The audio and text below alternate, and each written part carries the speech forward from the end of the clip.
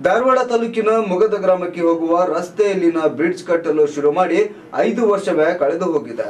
ಆದ್ರೆ ಇನ್ನೂ ಸಹ ಬ್ರಿಡ್ಜ್ ಕಾಮಗಾರಿ ಪೂರ್ಣಗೊಂಡಿಲ್ಲ. ಬ್ರಿಡ್ಜ್ ಮೇಲೆ ಅರಣ್ಯದಂತೆ ಗಿಡಗಳು ಬೆಳೆಯುತ್ತಿವೆ.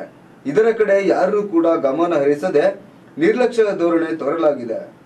ರೈಲ್ವೆ ಗೇಟ್ ಬಳಿ ನಿರ್ಮಾಣ ಹಂತದಲ್ಲಿದ್ದ ಈ ವೈ ಬ್ರಿಡ್ಜ್ ಅರ್ಧಮರ್ಧ ಕಾಮಗಾರಿ ಸಾರ್ವಜನಿಕರು ಪರದಾಡುವಂತಾಗಿದೆ.